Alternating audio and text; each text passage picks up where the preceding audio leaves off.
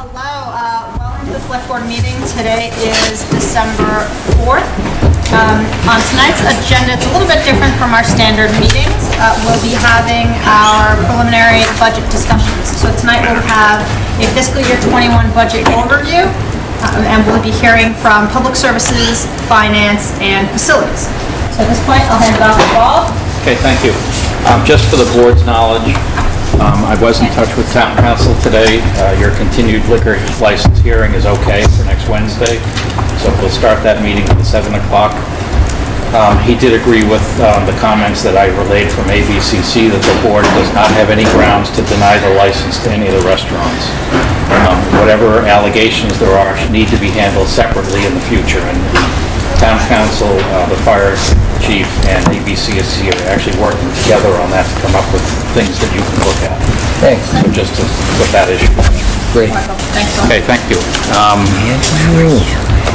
I don't think following along is pa- in packets is necessary, but let me just describe the the big budget package you got. Um, We're going to go through, that's going to be available in the background should any questions come up. Um, The three departments that uh, Vanessa mentioned are going to make PowerPoint presentations, and after the PowerPoint presentation is ready, I'll have the budget document ready. But I do want to give an overview, because this first page, while complicated, is going to explain what you're going to do for the next 90 days, and it's actually pretty simple when you look at it. Um, This section right here is the current year's budget. Um, It does not reflect November town meeting changes, because this is the budget that April town meeting passed, and it doesn't really matter why. Um, As many of you know, the budget total is consisting of two parts, the operating budget and accommodated costs. And again, this is the current year's budget.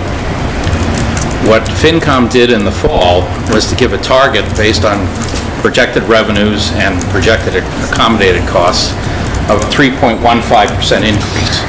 So this column here, multiplied by 3.15%, is this column here. These are the accommodated costs that the departments had fed into that formula, and this would be a balanced budget on the town side, $29.5 million roughly. This is the set of budgets that you have seen, or you will see in front of you. So I can show you right here, it's $200,000 plus out of balance.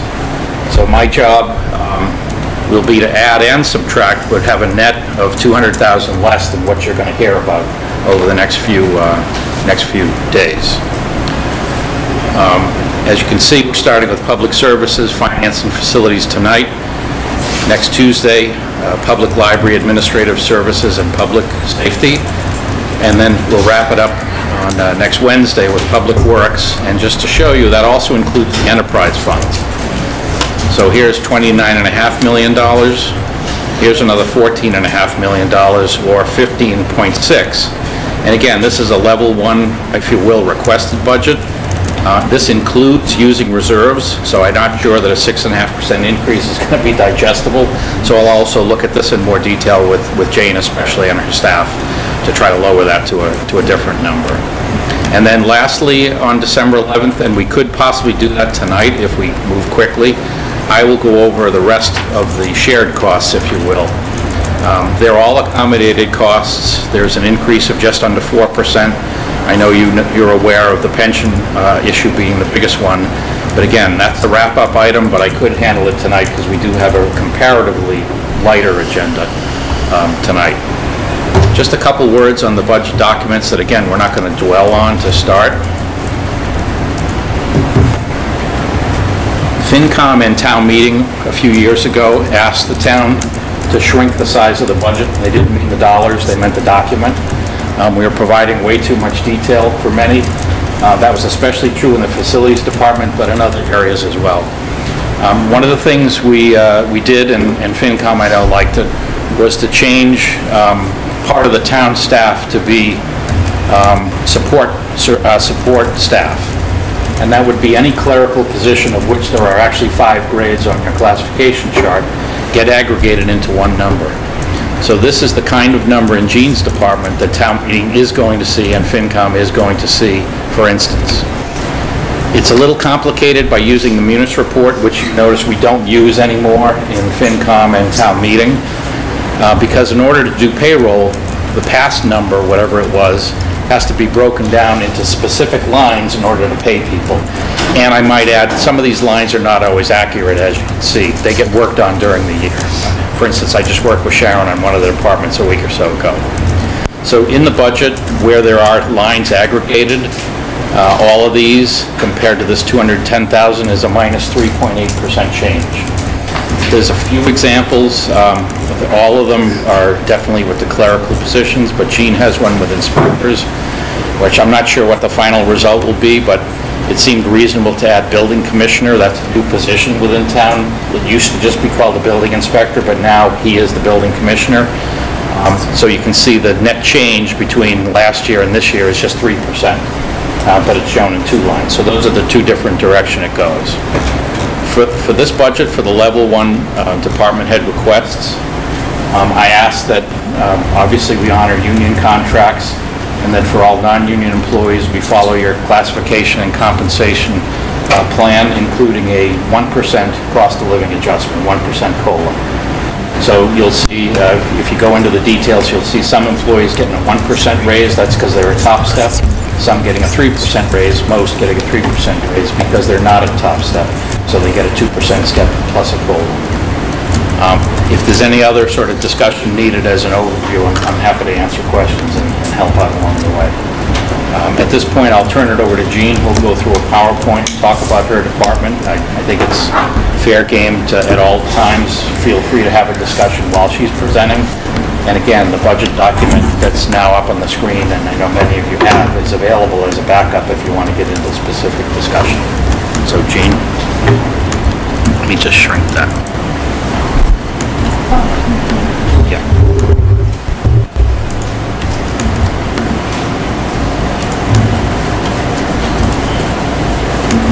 Okay.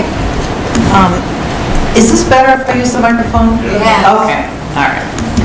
Uh, Thank you all, and thank you for the opportunity to present the Public Services Department Level 1 FY21 budget.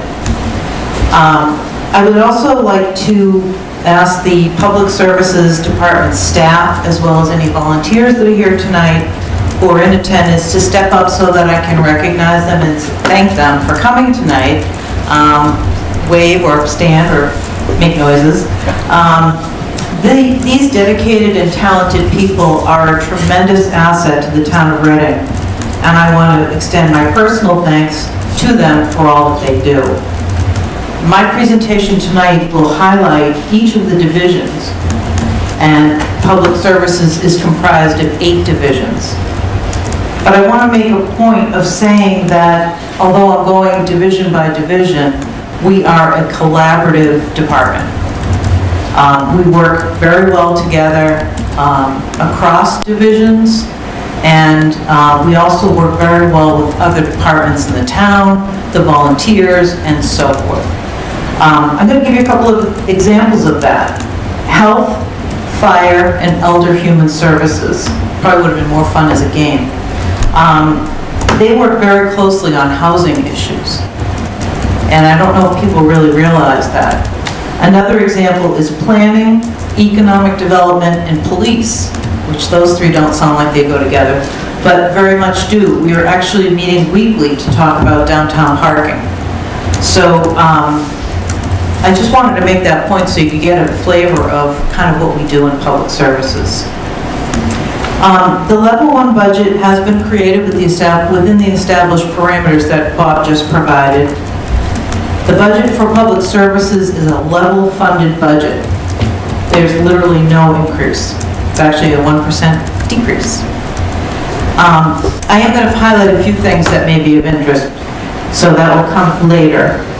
Um, I also wanted to mention that grant funding is um, very much part of this budget, and that Veteran Services is 75% reimbursed by the state. I think that's important to keep in mind. Okay, well, um, I also wanted to highlight this slide. Many of you saw the presentation we gave a few months ago to the Select Board, and this is part of our Reimagine Reading. It's part of our um, visioning work for some of the underutilized areas. This is the um, building that is, we call it the Historic Power Building over by Reading Municipal Light on, uh, uh, the- there's a parking lot in front of it right now, but we're reimagining that at some point, this beautiful building could um, really breathe life into Ash Street and become a real asset for the neighborhood. And we're talking about, at some point, having this be a community center or an arts center, which I know uh, Matt Kraunelis has been working with an arts group, and they're very interested. So we're very excited about these, these um, visions for the future, and um, I'll be talking a little bit more about them. So this slide is uh, really to demonstrate more of our collaborative nature. Um, We, we work with a lot of different groups. Um, In this slide, you can see there's 14 boards, committees, and commissions. So I don't know if we, Matt and I might be tied for the most number of boards, but we meet, these boards all meet on a regular basis. One of them is a work in progress, but I stuck it on there anyway. It's the new EDC. Um, I don't know if that's where it's going to end up, but um, the old EDC was in our department, so I'm guessing that the new EDC will end up there. Um, And there's just a lot of volunteers, a lot of working groups, and that's really how we do our work. This is our department. And as I said before, we are four divisions. Um, It gets a little messy when I try to describe economic development and planning, but I sort of lump them together. Um, Economic Development Director and Economic Development Liaison are offset by uh, permits revolving fund uh, dollars, so uh, that's why they're colored a little bit differently, but um, you probably know that. Um, I also wanted to note that the Economic Development Director, Erin Schaefer, um, she's been with us now for six months and been an integral part of our work, and um, that we were very happy to find Erin after the position had been vacant for a while uh, as a result of the previous director moving to the West Coast with his family. Um, I'm also very pleased that we were able to bring back a former employee, our Economic Development Liaison. Some of you might remember Jessie Wilson, Wyman now. Um, She left us a few years ago because she went to graduate school to study urban design. And when she graduated, we stayed in touch, and she was interested in coming back and doing special projects for us. So we're very excited to have an actual urban designer as part of our team.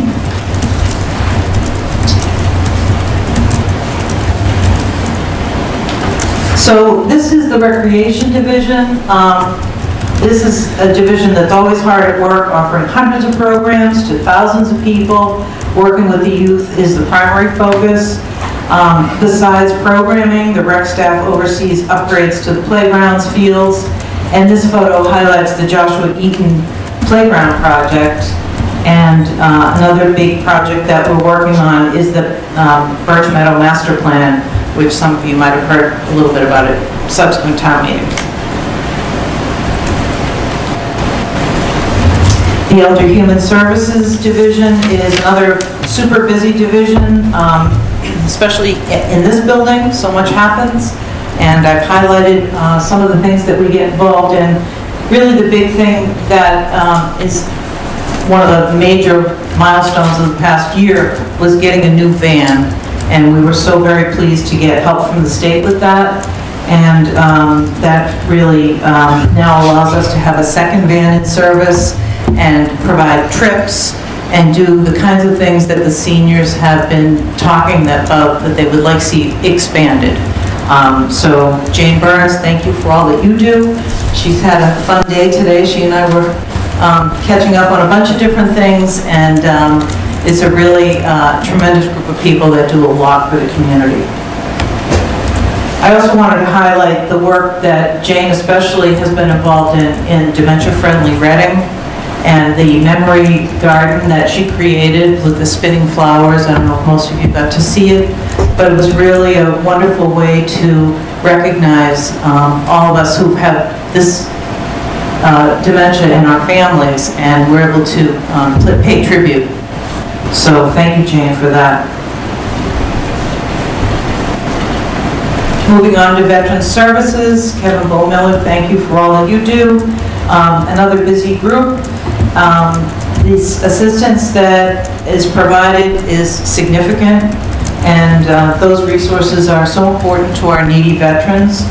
Um, Even with the number of beneficiaries slightly down, the needs are substantial, and being out in the community is one of the best ways we can promote this service, so thank you, Kevin, for your efforts on that. Next is public health. The Board of Health and their agents and inspectors are a diligent group that makes sure the community is safe in so many ways. Over 300 annual inspections, 41 annual complaints, and nearly a 1,000 flu vaccines were given over the past year. Those are just a few of the stats that public health is involved in and engaged in, and so much more. I could go on, but I'm going to stop there.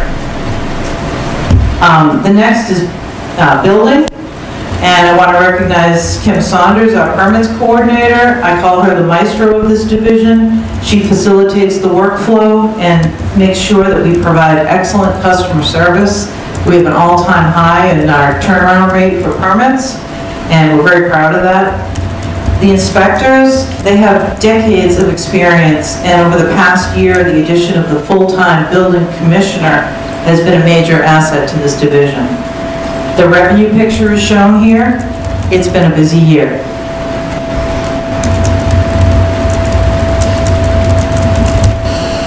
Conservation, Chuck Tirone has been um, a mover and a shaker and trying to work with the commission to streamline the process, and that's really evident in this slide. Um, Over the summer, there was a need uh, for the, for the CONSCOM to add a meeting, which is never a great time, everybody's dealing with vacations, and on short notice to help an applicant that had a time-sensitive project, everybody got together and organized this additional meeting for the board so that we could be responsive to the applicant, and that just shows you the dedication of this group. Um, Revenues and activity are consistent, and uh, they're a busy, busy division as well. Then we go on to historic, and um, historic is mostly a volunteer-driven division. However, staff do provide support as needed. The big news for historic is the rehabilitated historic post office. This is a major uh, showpiece for Reading, and it's one of the few historic post offices that we've been able to find that have been adaptively reused the way it has been.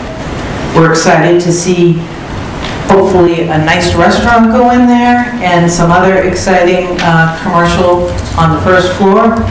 And this is exactly what we had in mind when we asked town meeting to approve the downtown 40R smart growth district. So because of the zoning, this building was saved. Um, It had a very extensive amount of restrictions on it that were deed restricted because it was a historic building. And um, they got through all of that, got on the ground, and we're looking forward to this being a major people generator for the downtown. This is our vision plan for Reading. Um, We talk about the Eastern Gateway, which is in the green. That's sort of the Walker's Brook and beyond area. We also talk about the connection of the Eastern Gateway to the downtown, creating somewhat of a bow tie. And we talk about connectivity between the two areas, so that as the downtown grows and prospers, so does the Eastern Gateway. And the idea of a greenway connecting the two is baked into this plan. Uh, The area behind RMLD, which was the first slide that I showed you, um, that's, we've turned, we've we've called that the yard, and that's an area that we believe the industrial spaces can be adaptively reused. So what I'm trying to show here is that really, um, the planning and the economic development work so closely together, and it shows you how integral planning is to e- economic development and vice versa. Now that we have developed this vision plan for both downtown and the Eastern Gateway, we're working hard on next steps. So this shows you a little bit more of what we're talking about with the yard. And this is reimagining what could be there. And then, again, the connectivity between what that looks like and what the downtown looks like.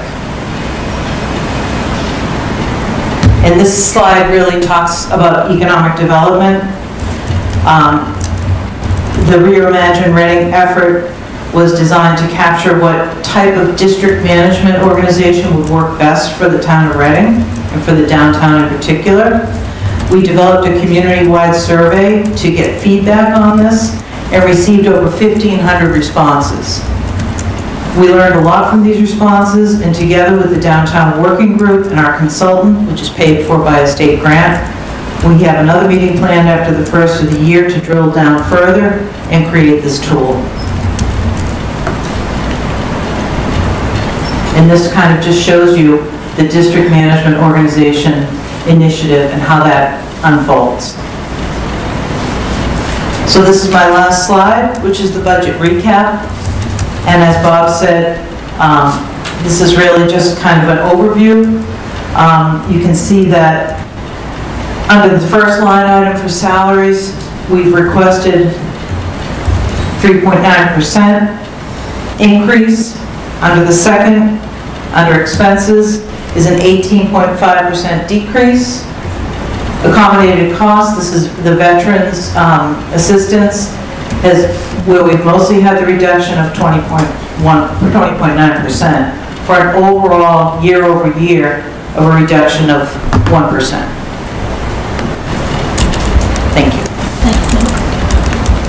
So, Paul, would you like to ask questions? Sure. Uh, Questions from the board? Hey, but, um, Gina, last year, I believe we had, um, FTEs listed with each department. Have you, have you, uh, that get information as well? Um, As my, my understanding was, we were gonna do that later on in the budget process this year, so I didn't prepare that, no. Will that be presented to FinCom then? Yeah. Okay, That's my understanding, yeah. perfect, thank you. Um, any questions? I'm I'm trying to match your numbers for a second. So, I uh, can help you there. okay. Tell you this. Um, I mentioned that November town meeting numbers throw a curveball. Got it. So they are in Jean's numbers, they are not in the budget handouts you have. Um, Thank you. And it's complicated, but the important thing to remember is November town meeting transfers are not part of the ongoing budget for next year's calculations purposes. They're one-time expenses, there was two $20,000 expenses in her budget. That's what it is. You took 40,000 out, you get a plus 1 instead of a minus 1. Got it. Thank you. Yes, just one more, sorry. Um, On the the FTEs, what, what's the, the timing for that? When did, when does FinCom meet or when? uh, end of January-ish. Some Okay. departments may present that, throw it together, so. Yeah, I think I'd be interested in seeing. I know, I know that in Jean's budget, for instance, she's requested additional hours for two existing employees that are part-time, and no other changes, so it's not that interesting. Okay. It- That by itself is helpful. Thank you. While we, while we and the board were at town meeting and understand these numbers, can you give a summary of why these numbers look the way they do? Um, sure, the salary number is again because there's additional hours requested for two positions, otherwise it would be three percent or less. Oh, sorry. Hello, hello. Uh, The three point nine percent is the sort of baseline three percent, maybe a little less, plus additional hours for two staff positions. Um, The accommodated cost of veteran services, uh, you know, again, was presented. uh, And then the expenses, if you see that 180,000 and took 40,000 away, that's the November town meeting impact, so expenses really are flat or slightly up. Um, One was open space, what was the other one? Birch Meadow Master Plan. Okay, so there were two master plan studies for 20,000 each. Thank you. Any other questions from the board? Yeah, I'm just helping, I know that, I under- I gather that the budget summary that we got um, is different from this. And it, help me understand, the, the target total is a million, oops, it's up there in the previous slide. It's one eight seventy six. One eight one eight seventy six. It was in Jean's presentation, right? Up the top there? Oops. Yeah, right here. Right. And, and that's a total of minus 1? Again, that's based on the difference of the town meeting numbers not being in this sheet here. Right. But being in Jean's presentation. So the, the number itself is correct, the percent change, you know, one could go over to the far left and add 40,000 to that, and the percent change would differ. Okay, but it, it's still above the FY '21 operating target? Well, again, there's $200,000 cumulatively between all departments above. Um, I certainly wouldn't say that every department has to be precisely plus one, 3.15%. But in total, there's 207,000 Yeah. more than FinCom has forecast we can afford. Just a quick question. I'm, I'm wondering, it, it kind of feels like we need a Goldilocks porridge here a little bit. I think that the summary is too, too tight, if you will, and the munis is, is way too much. And something in between might be really helpful. Um, it's hard to kind of just take a. Explain that, I have no idea what you mean. Yeah, so um, in terms of looking at, I'd like to see a little bit more detail than the summary sheet, but Munis would be an answer to that, but Munis is crazy. I- I- Well, the only difference is the November town meeting transfers, and Jean's is one of the few departments that that is true in. Right, so I'm not so worried about the specifics of the numbers, I'm more Okay. in the breakdown of the numbers, kind of what each department inside of public services would represent. So each division, for instance, okay. Because this is a big one, right? Because you've got, you got the most, your org chart is quite detailed, there are a lot of folks there, and a lot of different divisions. Right, so, so Munis, yeah, Munis gives it, and and as discussed, that's kind of a too granular, granular A level. And this is a little too tight. A lot Right, so the the Munis numbers would give you your answer. Now, again, let me just find it. There's 40,000 of November town meeting transfer right there. The uh, administration aspect or component of her budget, if you were to take the $40,000 number different, would be about unchanged. All the other divisions are listed sequentially and show the exact change. So, uh, Mark, correct me if I'm wrong, I think what you're looking for is more in line with what we've seen historically as part of FinCom meetings, is that correct? Which generally has the breakdown in the packet for recreation veterans, what their expenses are, what their salaries are, changes within each particular department. Yeah, And I'm saying that although there's not a summary sheet, that's in these budgets. If you continue to scan down, there's one right there. Yeah. So what goes to town meeting eventually has less detail than Munis and more detail than the summary. Correct. That's what I'm wondering is the timing of that, when Uh, that When information. FinCom gets a budget, so late January. Okay. If there's any specific questions, I can organize the data differences. It is. Um, It's just, it's harder to just, maybe it's the FinCom background. It's harder to see it in total and, and, and try to absorb it. Okay. I think, if I may, Goff, Yeah. I I think one of the differences here is that this is meant to be the preliminary overview um, of the budgets that are anticipated for each of the departments, and then the staff goes the next step and a level deeper once they do the FinCom presentations, um, which historically the board has attended so that we can see that granularity without going into the munis report. Um, So, yes, but you're ahead of the game. Happens occasionally. So, Jean, is that your Yep. presentation? Wonderful. Thank you very much. Thank you.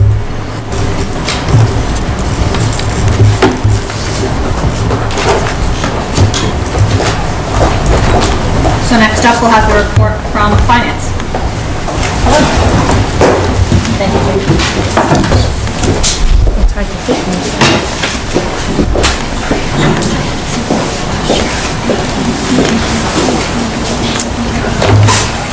Do you need me to use the mic? May as well.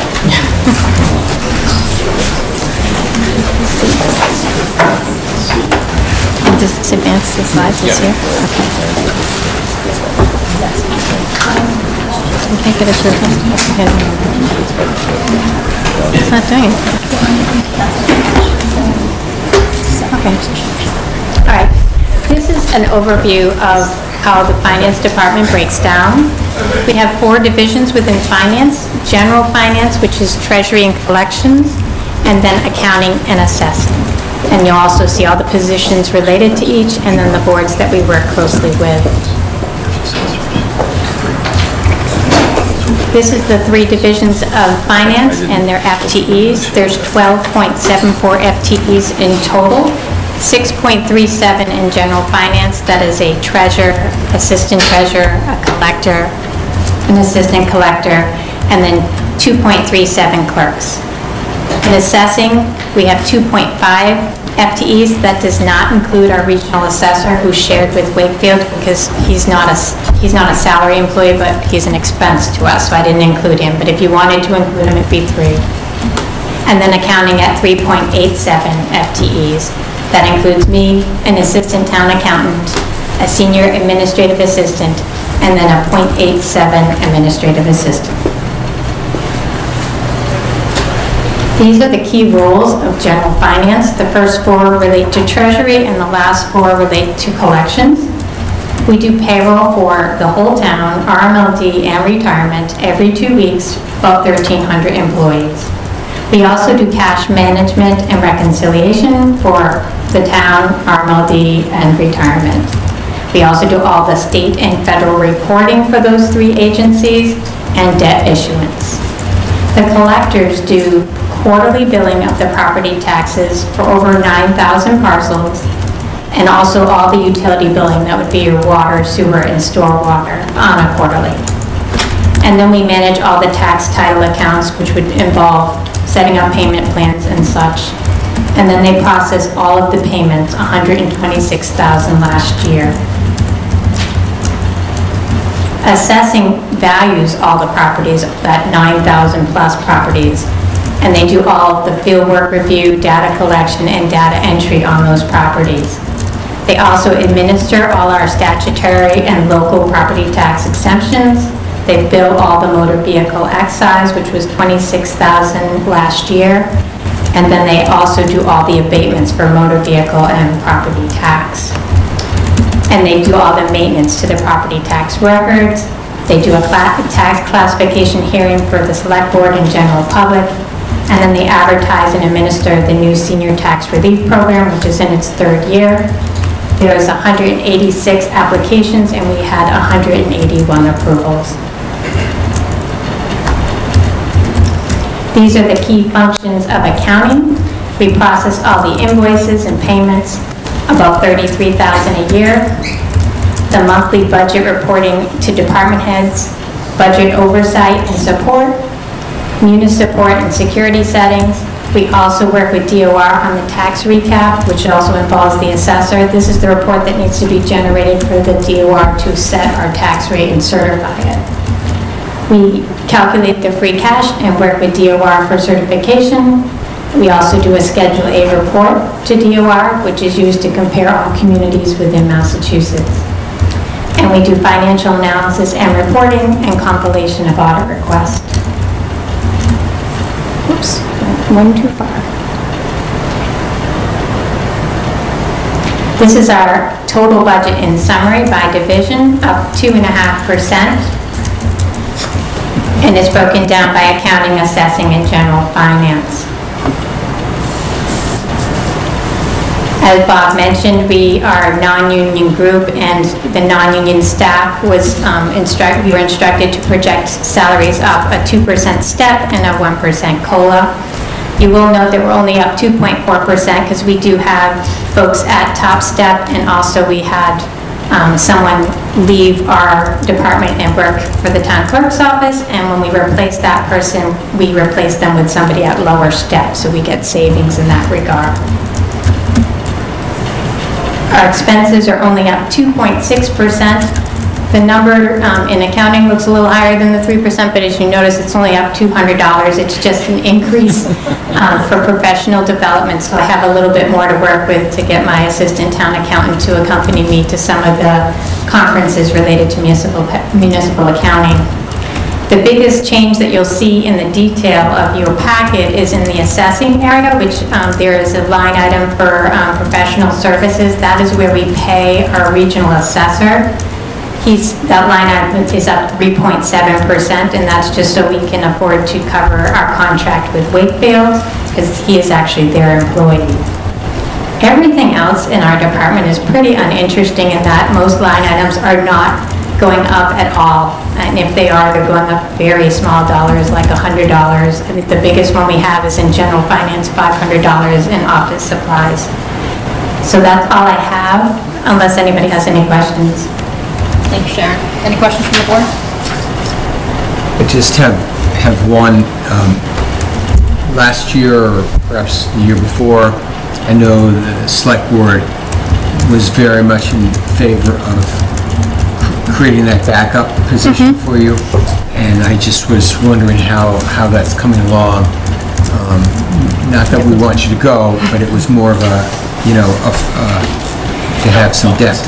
So she is working out famously for me. Um, It is taking me a little longer to do the year-end processes because I'm involving her in all of it. I want her to at least have exposure to it. I don't think at this point she could do any of it by herself, but she's at least familiar, and that's what I'm, ga- well, you know, looking for each year to gain more familiarity.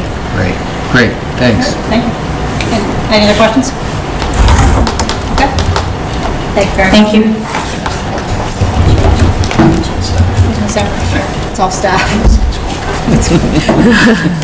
Uh, Still more people than we usually get so thank you. All right, next up, we'll be hearing from Joe Huggins to cover facilities, operations, and capital.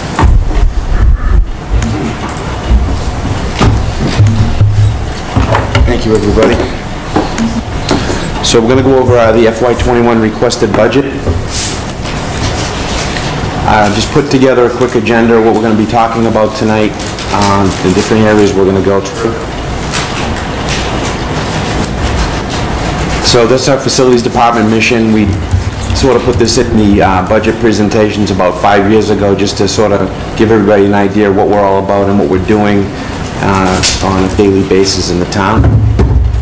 It's important to note that there's, um, under the Facilities Department, we have the core Facilities Department, which is the, uh, the biggest portion of our budget, which does all the maintenance and upkeep of all, um, all the town and school buildings, uh, with the energy budget built into that, and all the expenses to repair and maintain.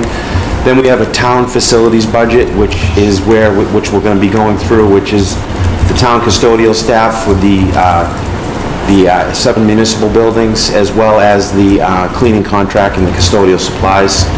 And uh, then I also manage a school facilities budget, which you're not going to be, this will be at a later date with the school department. So those are the three portions of our budget. So this is the facilities organizational chart. We have, in- under facilities, we have seven full-time employees, uh, myself, an assistant director, uh, senior administrative assistant, and four full-time maintenance men. Uh, It's made up of a master plumber, a master electrician, a master carpenter, and a technician um, that work uh, in repairing uh, and maintaining all of the 1 million square feet that we have. We outsource a lot of work, and you're going to see that. Um, There are a number of different trades that are involved in maintaining um, buildings with different technologies, so where we're light on in inside people working or in-house people, we subcontract a lot of that work out just because of the nature of what we do. On the town side, we have four full-time custodians, custodians that are supplemented by nighttime cleaning in four of the municipal buildings.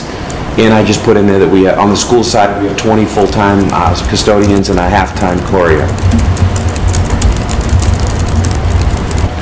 This next slide here just gives you a quick overview of the, um, the buildings that we maintain um, and the square footage, as well as the year that they were built and/or renovated. As you go through there, you can kind of see the, the two newest ones would be the uh, cemetery garage and Mattera cabin, which were added in three, three years ago, I believe, that we started taking care of. And again, this just gives you a sort of a recap of where those buildings, where they are on the school side and the town side, um, and the preventive maintenance program that covers all of those buildings. So this is a lot of what I- what I was talking about, that, that we do um, PMs, which are a big part of what we do with maintaining the buildings, you know, uh, religiously going through and maintaining rooftop equipment, exhaust fans, boilers, uh, you can see that there's quite a bit involved that, uh, and a lot of this is contracted out. I will tell you that we do with, with adding, we added a, uh, a fourth person, and, and another slide we're gonna look at, it, it kind of shows people that we try to diagnose a lot of the issues in the buildings to avoid having to call outside contractors in, which works out really well. But we're, we're very busy. There's a lot of work going on on a daily basis, doing the preventive maintenance program and just executing work orders uh, for day-to-day repairs. We talk a lot about uh, facilities, uh, technology, and we do uh, use it heavily uh, to maintain the buildings on a preventive maintenance, work order management, asset inventory, which helps us age the equipment. Um, We also do, um, the- under reports, that would be uh, utility track, which helps us track our uh, consumption on all all three commodities, as well as uh, work order, um, rentals uh, management or for renting out spaces and activating schedules when people are in the buildings at night um, so that we have heating and cooling available. So those are all tied all together, which really works out well. So this next slide just kind of shows you folks what we've completed uh, for work orders um, in FY19 and FY18. Um, The numbers are a little, the average for the last three years has been about 2,600 work orders. Since we've been using the work order management system, um, which was launched when I came here in 2006, we've uh, closed out 34,000 work orders, just to give you an idea. So this next slide here shows you, like, in FY18, we did um, 79% of the work orders were accomplished in-house, 22% outsourced. The number went down slightly on the in-house and up on the outsourced uh, with one of our maintenance guys retiring, and we had a partial year without a, um, without a maintenance man until we hired someone, which showed you that we do accomplish more with the in-house guys. So we're able to get a lot done. So that's why that number is a little different. So this next slide just gives you folks an idea of what the kilowatt uh, per hour by square foot usage is at the, um, at the buildings.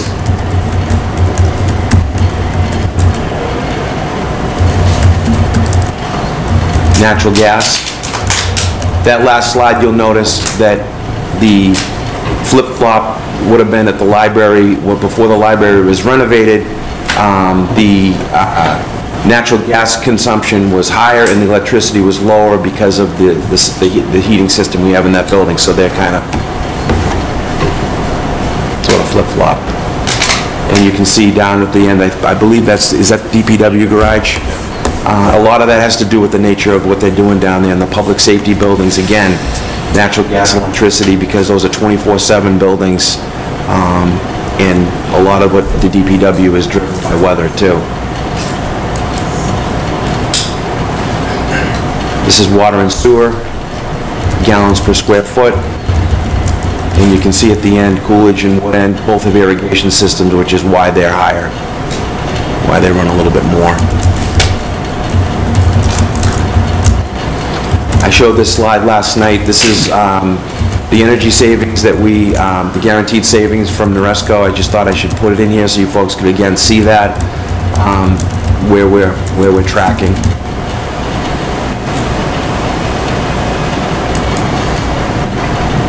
Now I'll go into the requested.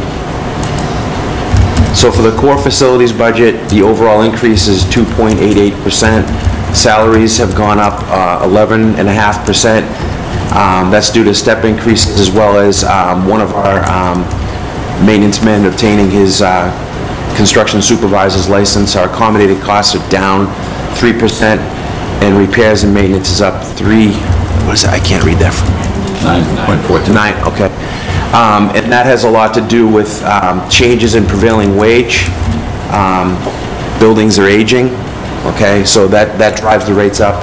And right now, we're in like a three-year cycle with our contracts for a lot of the outsourced items that we do. So the overall budget's up 2.88% for the core. You also have a new position requested under salaries. That's correct. We have a new position request under salaries um, to um, to assist us in um, executing the new security work that we're doing. We're going, we're asking for um, a 30-hour-week position for someone that would be monitoring and um, um, the, um, the cameras as well as the card access, which is going to be a a big undertaking to um, put people in the system, take them out. Uh, There's 1,300 employees, not everybody's going to have access, but a great, great deal of them will. So we're asking for that, and we're also requesting under the core some money in the, um, it's under the locks line, that would seem like the place to put it. Um, And that is for monitoring services for um, the uh, security uh, measures that we're doing. We're gonna have to go to a, a more elaborate setup than we have now and have someone, a company monitor the stuff 24/7. We are doing it now, but it's gonna be expanded, if you will, with the amount of work we're doing.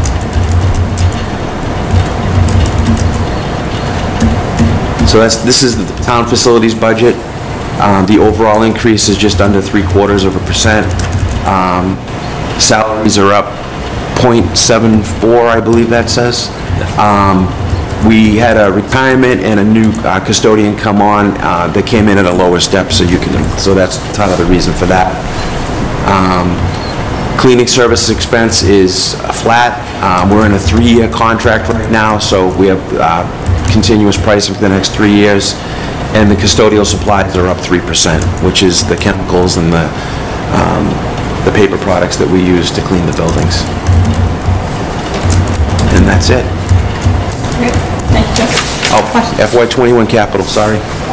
I just thought I should give you folks a quick uh, look at, uh, this is, um, this is what we have on for FY '21. Uh, New water heater at the police station, water heater at Parker Middle School, new hot water tanks at the Coolidge Middle School, and we're requesting a Bobcat, um, a skid steer machine for facilities, so for snow clearing, which will add a second machine to the- what we have down there. Thank you. Thank you. Questions from the board? Mark? Joe, do you, hit- on the CMS, CMMS software, are you implementing pretty much all the modules you want to at this point? Um, Pretty much. I would say all that we can sort of handle right now. Um, We did the utility track program um, three years ago, um, and we went, which helps us track consumption, so we can help forecasting and things like that. That was a big undertaking. We also rolled out um, FS automation, which ties in like this, I got a phone call earlier in the evening, wondering wondering if the heat was on in this building. And uh, it was, it was scheduled to come on, but we have a module that you can go in and you can occupy a space by sort of renting it or reserving it, and it'll automatically turn it on. So we've got all the buildings that are either rentable or usable for meetings and the school and the town side activated through that system. So we're using it heavily to answer your question. Okay, yeah, one? And then second question, very much related. The uh, senior center um, usage per square foot is like second or third highest in most cases. Does that relate to the building, or? is It has a lot to do with the age of the building and the type of heat that's in here. It's a, um, you know, there's, it's, it's, ga- it's natural gas, but it's, a- it's, uh, el- electric motors up in the attic that, you know, it's, you know, air handlers and things like that. And and it's a lot to do with the age of the, of the building. And the use, too. This building gets used quite a bit. Is this building one that's in the um, Noresco? Yep. contract? It is. Yep. What are those heating systems due for upgrade? Um, we went through, um, two years ago and replaced, um, the heat exchangers on all the, on all the units in the attic. Um, the, they really, there's not much to them, but we did the heat exchangers and replaced those, and they're not due to be replaced now for at least another 10 or 15 years. So it sounds like the building is the problem. Yeah. Other questions from the board? I have a few. Um, So it looks like the number of work orders is increasing year over year. Slightly, yeah. Uh, Is that, uh, is that increase expected to continue? Is it, you know, as a- is it a result of the buildings simply aging? It's a result of the buildings aging and the use that we have in the buildings. Our buildings are used heavily at night. Um, There's a lot of wear and tear that goes on, especially in school buildings. And if you look at the, like, the high school alone had like 480 work orders. Um, It's the largest footprint of all the buildings. I don't see that number coming down. Um, You know, newer buildings, of course, you're gonna have less work orders, you would hope, if they're built correctly. Um, But um, it has a lot to do with age and use, to answer your question. Um, So the second part is, do we expect that trend to continue then? They, that the amount of work orders go up? Yeah, I would imagine so. Yep. Um, And then, do we have a comparison of both electric and gas usage year over year for buildings? So the, there's the overview which showed each of the buildings for a current year. But it's possible to see, you know, one of the things we talked about when you presented was the cost savings that we've had from all these efforts Yep. that you've implemented from a cost energy savings perspective. But what does it actually look like per building? I do have that information. I'd be curious to see that. Yep. Uh, You asked my senior center question. Uh, You mentioned that there's going to be an a new employee or new position regarding the building security efforts that we're implementing. Um, But this seems to be added as part of the operating budget and it doesn't seem to be coming out of the 4 million the town meeting allocated, is that correct? Correct. Okay, and so that position is expected to be permanent then? Yes. Yes. Follow up on that, um, from a timing point of view, is that something that is independent of the, the larger project, or is it dependent? Something that the facilities director has to explain to the town manager Got it. to see how far it goes. Honestly, I I can't answer, I don't know. I know it's a longer term, but I don't know how soon. Got it, thank you. Any other questions?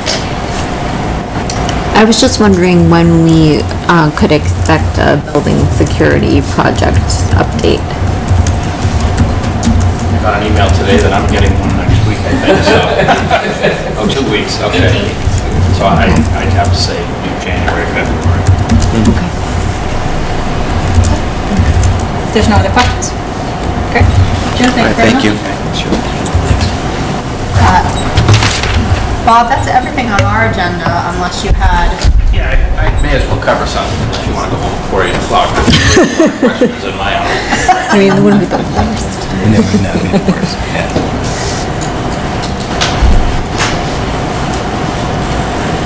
I'll help you find what I'm looking for.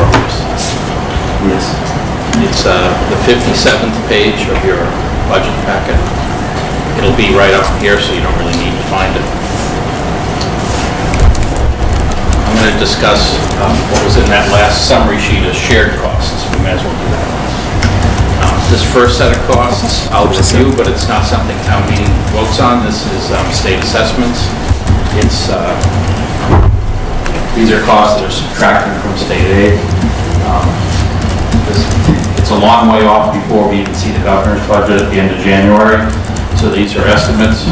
Uh, But the $42,000 school choice tuition is something that's a little more concrete. Uh, Based on some information we have, you can see the run rate is only 19,000. Um, It had been budgeted at 82,000. The rest are just guesses at 2.5%. And again, there's that, what is now close to a $600,000 loss of state aid because we have a train station.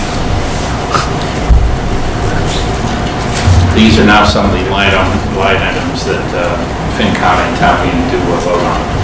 First is the FinCom reserve, uh, expected to be unchanged at 200,000. That was presented as part of the financial forum. Um, schools is, is always a challenge, as our treasurer is now learning. Um, The the Northeast Voc School in Wakefield is our, as you can see, our primary Voc school. Um, The budget for that is fairly well predictable within a certain range because they bill it on a one-year lag on the amount of students. So we already know how many students for next year will be part of their budget. We may not know the increase of their budget, but we know how many students. Um, So that increase projected is just about 5%. It's probably a pretty good number. Um, The next two both schools, um, Essex North, the old Essex Aggie, and North Shore combined, and Minuteman, are completely unknown. Um, And it's always a mystery to both John and I that uh, at this time of year, if we were to call them, as I used to do, they can't tell us how many students are there right now today. From Reading. I don't know how. They have until some period of time, and I'm going to say, is it November 1st-ish, where they, they technically can't count anyone because they're not sure if they're going to stay. But at some point around November, they should be able to know, count the human beings and give you a number. They can't, they don't know. Um, The only reason I know we have a student at Minuteman, because they've not admitted that yet, as you can see, is an $874 charge. I had to pay a one-month transportation charge. So I don't know who it is, but I know we were billed for it, so we have a student. So my point in these lines is, it's really difficult to budget the two, two smaller voc schools. Right now, I believe there are five students enrolled at Essex Aggie or or Essex North and one at Minuteman, but I can't say that absolutely for sure. Of the five that that I believe are at Essex, two of them are seniors, so in theory, three would go forward, and then the wild card that neither John nor I ever know is how many freshmen will apply. And the reason for the other two voc schools is, um, it's complicated, but effectively, they all, they they reportedly offer programs that our main voc school does not have. Otherwise, the students would be required to go to the primary voc school. And that's a bit of a marketing effort, as I've learned. Um, Voc schools create new names and programs and then steal students from each other at a much higher tuition. So I thought I'd just go a little more into depth in this line item, because we don't usually talk about it. Excuse me one sec, but is Yeah. there a, um, a building assessment that at some point? That's a good question, uh, Mark. My understanding is that, I haven't talked to Sharon, but we may either see it as part of the Voc school when they build a new high school, or we may break it out as a fourth line on this line item. Um, The way it's been described to me and the way it is right now in state law, Reading will be assess- assessed the cost of the school construction project based on enrollment, which is, Reading is very low, it's 20 students out of several hundred. Um, The school building was last reported, I think, around $240 million. It will receive, think it's 80% state aid, I don't know, it's Saugus' rate, which I think is... Chelsea's. It's yeah, it's Chelsea's rate, which is either 80 or 90. It's not yet. Okay, so the actual, so, you know, the actual cost to this towns, this 12 towns, is relatively low, if only we could get something like that. Yeah. And again, for Reading, because there's a small percent of students compared to some of these towns, it's even lower. So it's not a budget buster in this, and it'll show up as an additional charge of some amount once it happens. So far, they have proceeded to do design work and feasibility work without assessing anything to the towns. It's been part of their operating budget.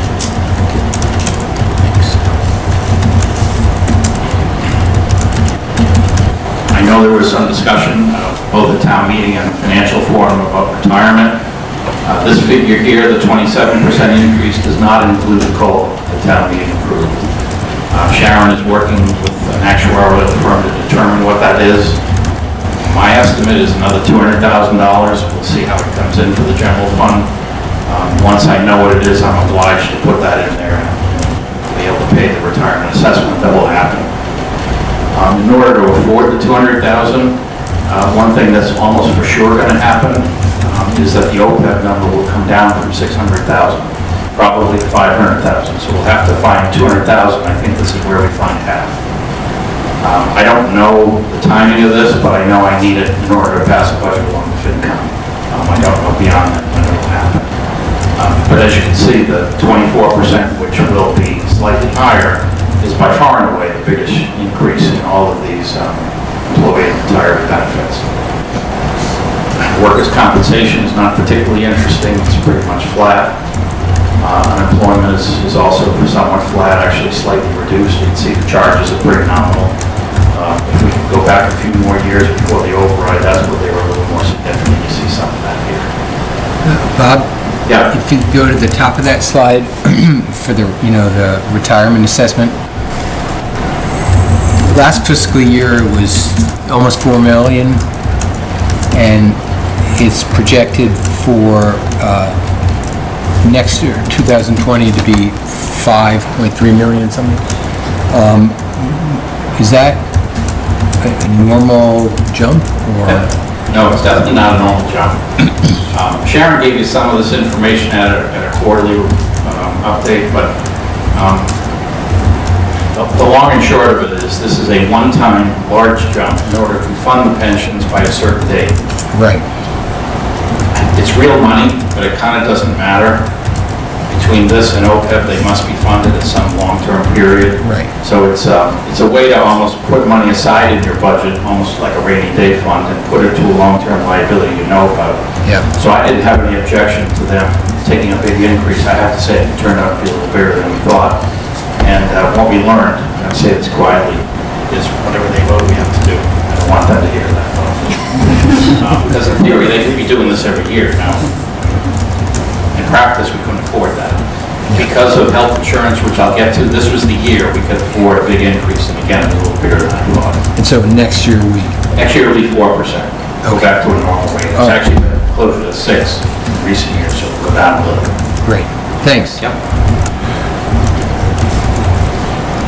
Um, I failed to mention mention in my introduction that the budgets you're seeing on the town side have a total of four, I'm sorry, three uh, FTEs added or requested. Uh, Joe had one, you'll see another one next week, and this is the third, and this one's a little unusual. Um, This is a benefit analyst position. Um, The cliff notes are, you can see the line that says group health insurance premiums right here, about $11 million, um, projecting a very small increase next year. We don't, of course, know what that is generally until uh, March or so. Uh, But our health insurance premiums have behaved very, very well for several years, very small increases uh, as a running total. A tiny part of that reason is that Maya is not doing as much clerical work as they used to, and it's falling on town staff.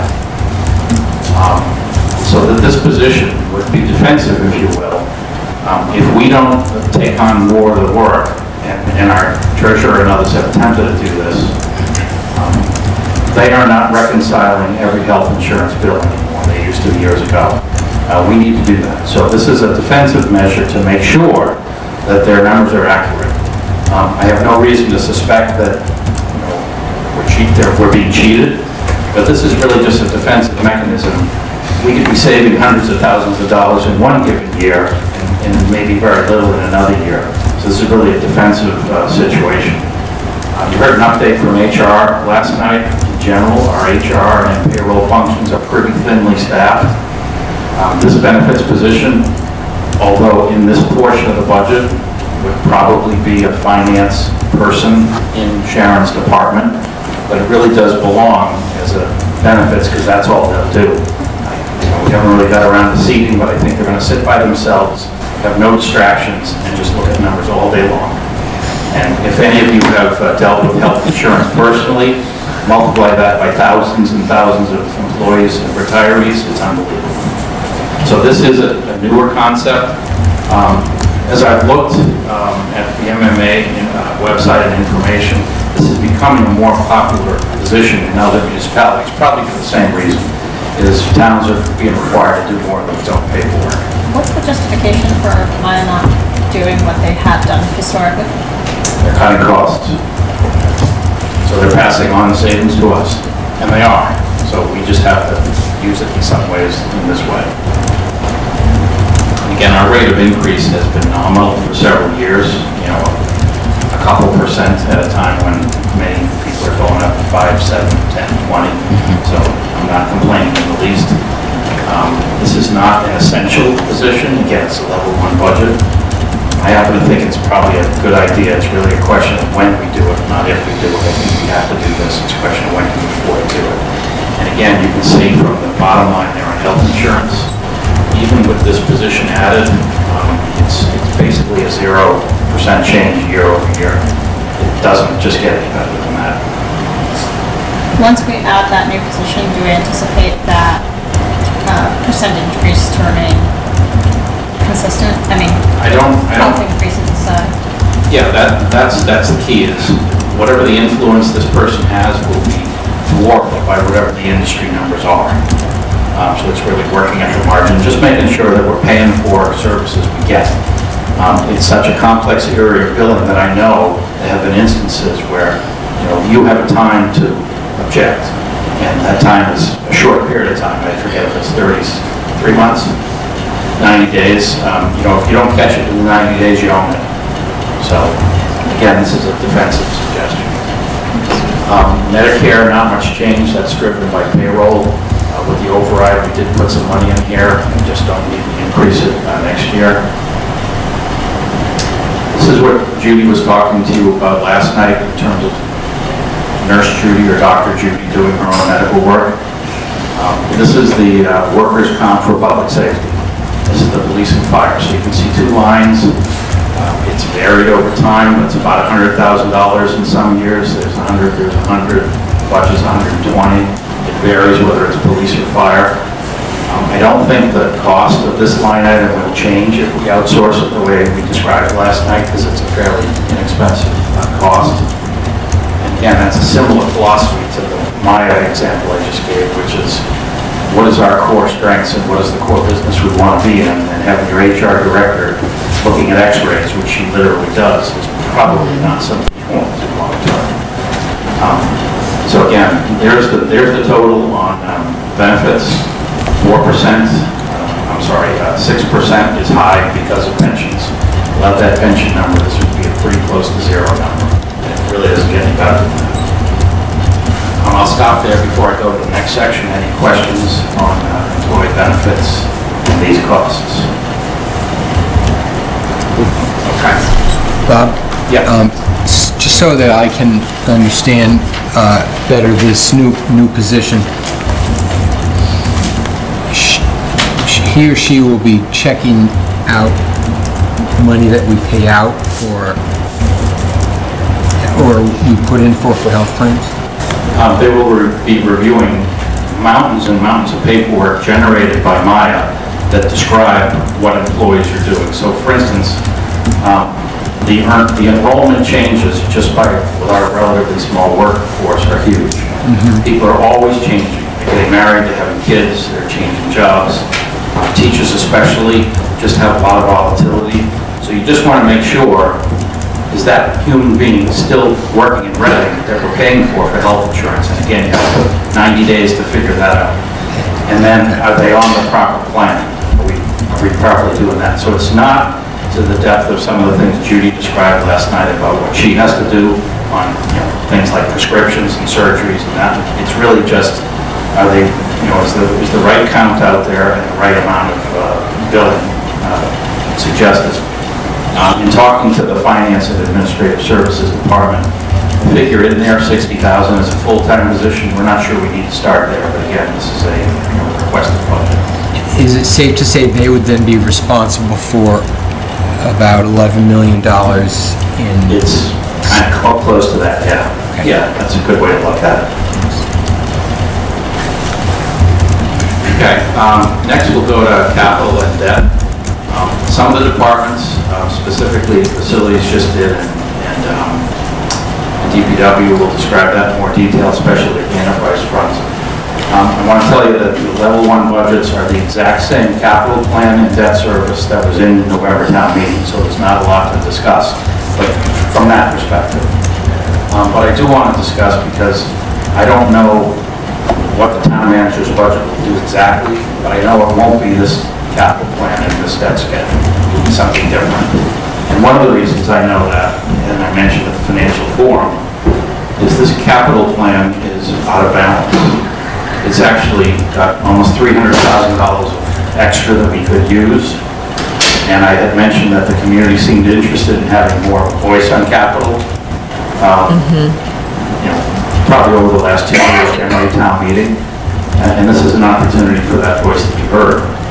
Um, I believe all the items listed under FY '21, which again is unchanged from the November town meeting, are still legitimate and high priorities. But as you can imagine, capital needs change almost daily. The importance of what you thought was really important gets passed by something else. So there may be some changes to what's a priority in FY '21, but there's also the ability to pay for more. And I will have to decide if no one else has any bright ideas what that is. So I did want to kind of go over some of those tonight. Um, Performance contracting was one of the things that has been discussed and was discussed at November town meeting. The current uh, capital plan has $300,000 next year, July 1st, to get the ball rolling, whatever that means. You saw a presentation last night of kind of the process, so I can't really be too specific, I don't know It's just you always need seed money to do some work. It won't be the uh, investment grade audit because that is free. It's, it's other things. And then you can see just below it, debt service scheduled to begin. This has two years to do its work, community to come together and make decisions, and then this is the debt service anticipated. Um, What November town meetings said loud and clear was, we'd like to do that faster. So this has not changed from what we designed last summer, as we kind of reviewed last night. But I believe this is an item that we will want to advance and perhaps use up some of the funds. Paul,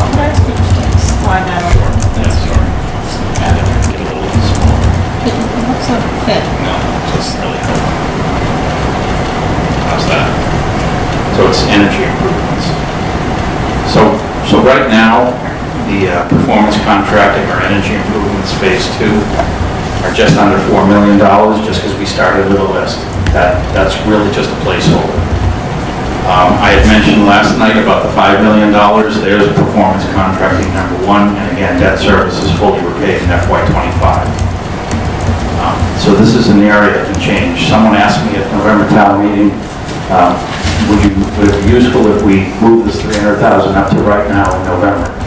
And I looked at Joe, and he had a panicked look. He said, no, not at all, he's busy. Um, But this is something we'll have to discuss, but we may ask for it in April, to get free cash in this current year's budget, get the 300,000. I don't think it's a huge advantage in terms of whether you get the money in April or July. The point is, if we get it in April, that opens up even more spending for capital in next year's planned budget. So perhaps we could move up some of the items. I don't know. I don't know how realistic that is. Again, I showed you last night an overview that said probably a year from now, I'm sorry, a year from April is the soonest we would have enough knowledge to go forward with a real plan. But that's dependent on how the community gets involved. So that's one area. Hundred, roughly three hundred thousand? right up like that. Uh, You know, it was a percent of the total spend, not quite 10%. So it's purely an estimate. And and again, from some of the things I heard from the community, especially town meeting, uh, I'm going to, I'm going to say that I'm almost sure that 3.6 million is too low. We're going to be back up to 5 million or even more when we're all said and done. Um, The next area where we could do more spending, uh, the turf two number has come in nicely. It's a million eight or a million eight change, so that project's come in well. Um, Here's some of the projects that are not funded, I'm just going to try to mention each one as we go. Uh, The stadium turf, track and ropes course, three plus million, is not, as you can see, it's not in the capital plan, it's not funded. The field house uh, floor and bleachers, just a little under 2 million, and is not listed in the plan, not funded. These are things that could come into the plan to of the surplus funds we have. Um, We don't know, it's much too soon to estimate what Killam or some other elementary school space solution might cost, so that's not realistic to change this year, but at some point, that will have to be a discussion. Well, just for clarification, the high school stadium turf, is that for budget? Yes. Yeah, that's, the $3 million would be to redo that turf field, to redo the track around it, and there's a small ropes course uh, nearby. Most of this uh, capital equipment from the town departments really does not need to be advanced, again, unless something happens. So there's really not much opportunity or need to move some of these items regardless of their size uh, up any sooner. The next area that I recall is um, Bob? fields, yeah. I'm sorry to interrupt, um, but if you just go back a slide to the, um, the RMHS building project, et cetera, um, it looks like turf two is 2 point million, 2.2 million in debt. Yeah. Um, And uh, track and ropes is 3.2 million, and the field house floor bleachers, bleachers are 1.7 million. Correct. Um, the elementary school space, which is another pressing matter, is, is only 1.25 Well, that's the modular classrooms that town meeting just approved. Right below it is a TPD. We don't know what the ultimate solution might cost, but it's going to be a multiple of one and a quarter million, certainly. Okay, okay, thank you, thank you. It didn't seem, it seemed too cheap. That's with a 99% reimbursement. Yeah, right. Uh, The next area where it's potential that, um, you know, we could spend some money sooner is in uh, parks and recreation. Um, If we go back to the the override discussion and to some smaller degree, the high school litigation discussion, in order to be able to afford some of these things, we moved recreation and field work several years on the capital plan. That was the only way we we're going to be able to afford it. Um, So again, room in the capital plan could be used to advance some of these.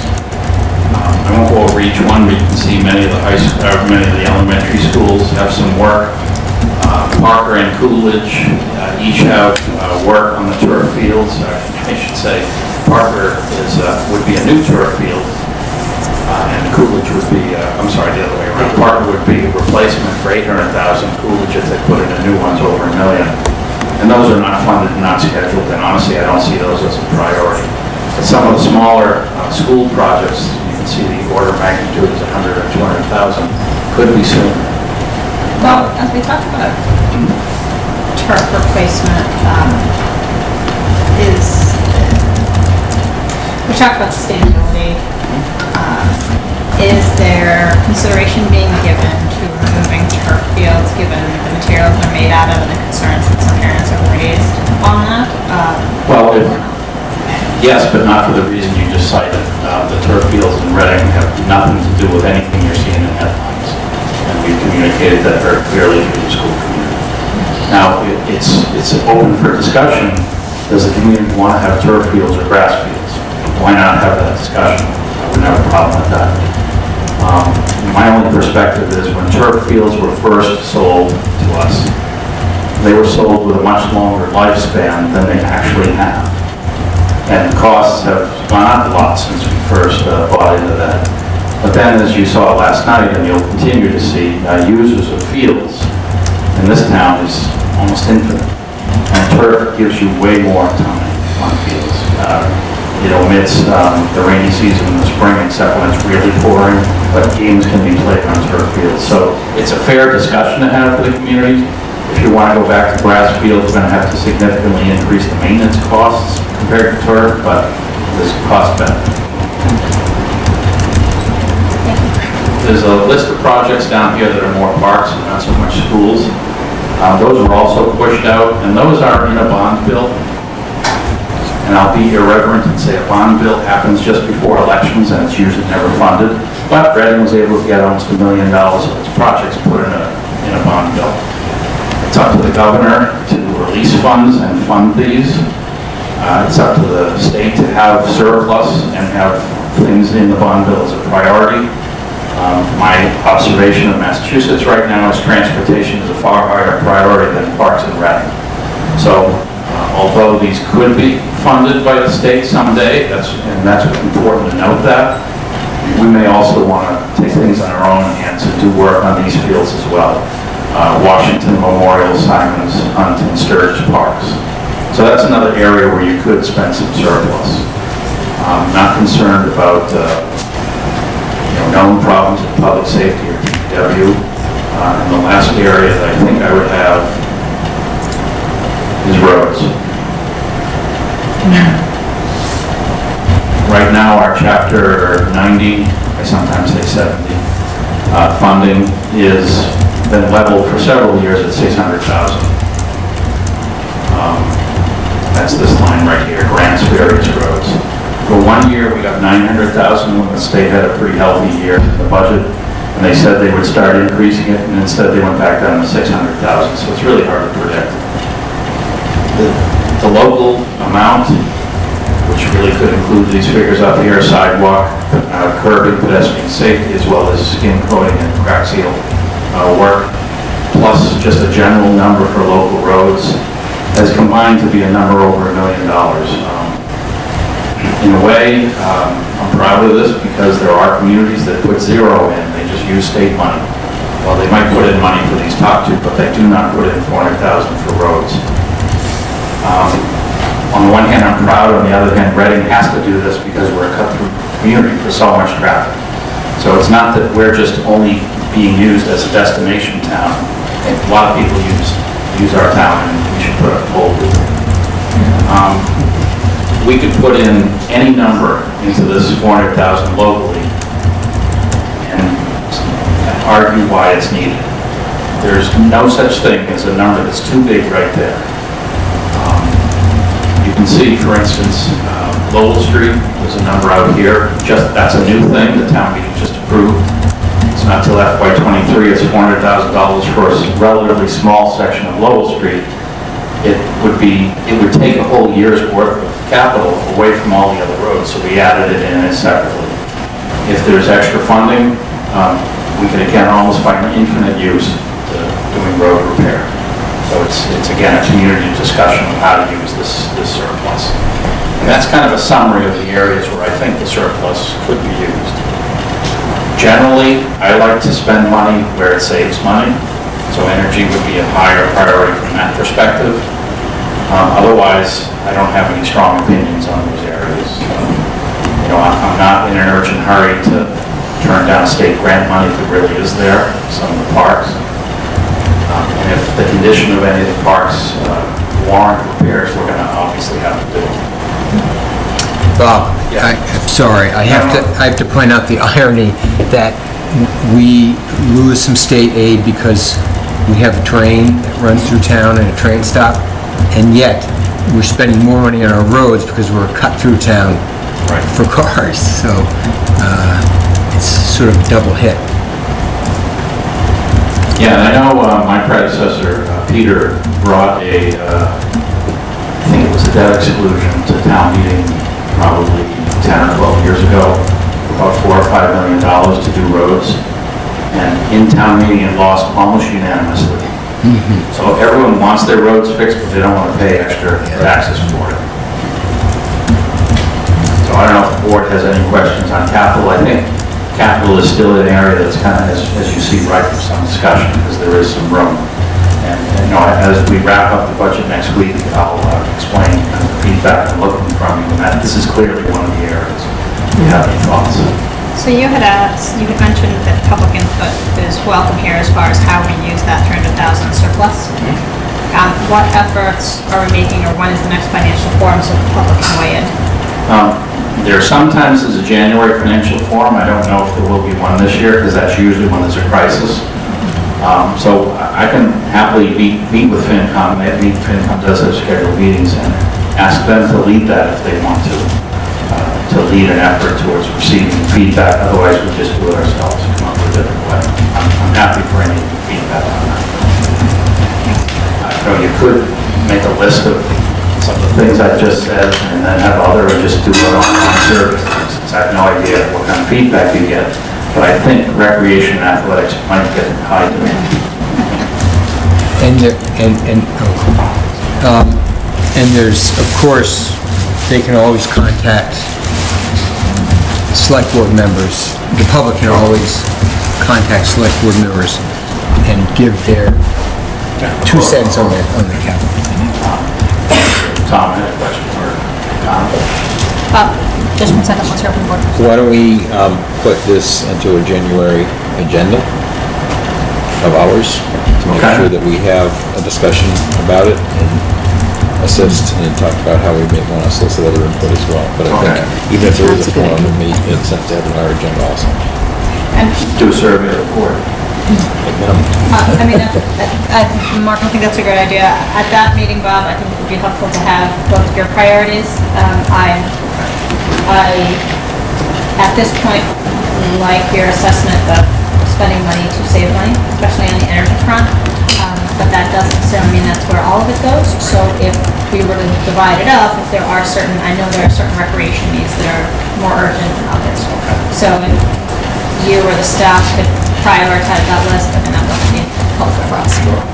Other questions? Tom? Oh, and sorry, Tom, yes. Tom Lyons, as an individual, as a school committee member. Um, I noticed up there that there wasn't necessarily anything about the land around Symonds necessarily yet, that we purchased the four acres or so, that potentially could have been recreation land, potentially could have been something else. Is it worth thinking about putting a placeholder in there to study that land and what it could be used for potentially? Uh, Especially considering recreation is one of the the ones that might need to be more largely investigated and invested in? Yeah, that, that's, um, that's actually something I was thinking of bringing to April town meeting as a request. Um, It requires coordination with CONSCOM. Um, I believe some of the work initially we have to do or should do is do a real survey of the land. I mean, we have an informal survey. Um, let's get a real survey out there. I, I don't know what that would cost, but it's not a lot of money. And really mark out with a wetland scientist what is conservation, what should be conservation land and what should be available. And then we should probably go through a legal process to divide that parcel and have a buildable parcel, if you will, and a non-buildable parcel.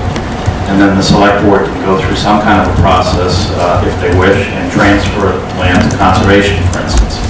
And this is on the select board's kind of goals and future agendas generally, but there's not- nothing so specific yet as to actually require spending. And then the whole discussion is, once you've done what I described, which I think is the right first steps, what do you do with the buildable land? And that's a whole wide open question. Any other questions? Along those lines, Bob, um, can, can we have, have that determination made in-house by Concom and, and, uh, No. No. We don't have the expertise. So uh, one of the things that's not up there is the discussion of kind of community center slash senior center. Or I didn't see if it is up there. So that's probably something that we should get to the status of listed but maybe not funded yet. Okay. I can certainly add that in as a discussion, is a nice thing we do like, but can't fund. I don't even know what the, what the want is, honestly, other than this building's not big enough. Yeah, in, in the same way probably that we go through kind of scoping studies is probably what we we Yep. want to do here. Yeah, yeah, absolutely. And and the one thing, I know I'm preaching to the choir here with FinCom, former FinCom members, but we just want to make sure the community is not surprised that, mm-hmm. oh, we need an override after we build the library. I mean, a lot of us knew that, but we have to make sure the message gets out there that there's a bunch of needs that probably cannot, cannot be done within the Prop two and a half tax levy, and here they are. And the senior center, I'm thinking, is probably one of those. I, I don't know what the options are, but I know most of the options I could imagine are not affordable within this capital. Anything else from the board? Yeah, that's it for tonight. All right, that's it. Uh, Thank you all very much for for coming. We look forward to seeing you next week. Uh, Can I have a motion to adjourn? Motion to adjourn. there a second? All those in favor? Thanks.